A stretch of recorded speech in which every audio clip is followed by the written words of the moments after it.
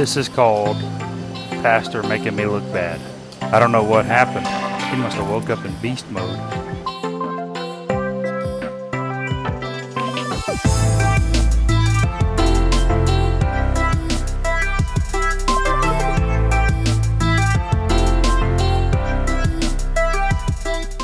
I'm at the eye doctor. Yes, I went to the gym. It didn't go well. A little bit of a late breakfast. Hoping this is alright to eat when it's expired. Never stopped me before.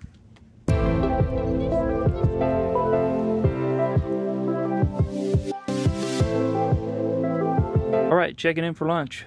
Chicken tortilla soup. Kiwi strawberry flavored water. It's officially day nine of this whole journey to healthy, this whole vlog idea. Let me just tell you a couple things I've learned in the past few days. I don't know what it is about trying to improve yourself, but it seems like as soon as you start trying, everything comes against you. Now, if you're a religious person, you might say that's the devil trying to stop you. If you're not a religious person, you might just say that the universe has it out for you. Either way you look at it, I would almost call it factual that if you start out on a trail of doing something good, you're going to run into things that are going to stop you from trying to continue doing something good. That's the negative. Now let me give you the positive. In the first week of trying this, I lost 7.2 pounds. That's the first positive. The second thing that's really pretty positive, in my opinion, is that I've proven to myself that I can still run on a treadmill or uh, across the parking lot or down a sidewalk. I've proven to myself that when I make up in my mind, when I get determined to do something, that I still have the ability to do that. I've also proven that I don't have to give in to all the excuses and the ideas that are floating around in my head because the reality of it is is that I can take anything and turn it into a good excuse for why I shouldn't continue doing what I'm doing right now. Running's bad for my knees. I've got a lot of metal in my leg. Chocolate just tastes better. Editing these videos takes a lot of time. Couldn't that time be better spent? Here's the reality. When you start looking into yourself every single day and you start putting a camera in front of your face and logging everything you do all day, you are forced to look at every second of your day. How well am I actually using each one of my days? So what have I learned? Number one thing I've learned, vlogging's not as easy as you would think it would be. I have to spend every single one of my breaks looking for a place to film this stuff. I'm not in some crazy city where there's just places all over the place just begging you to come shoot cool scenes.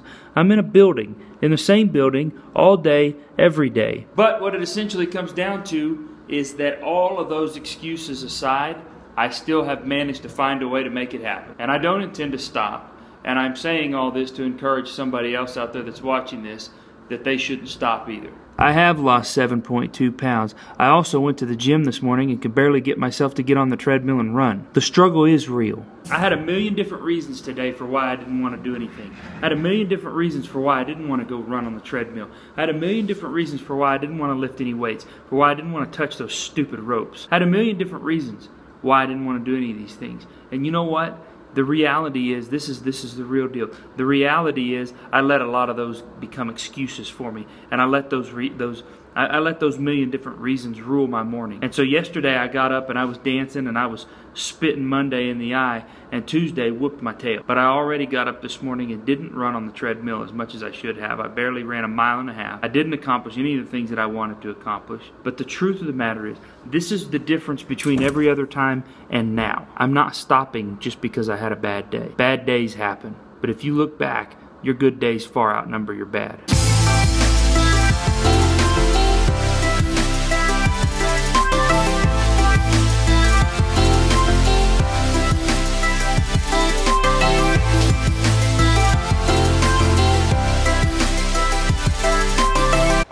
All right, dinner time.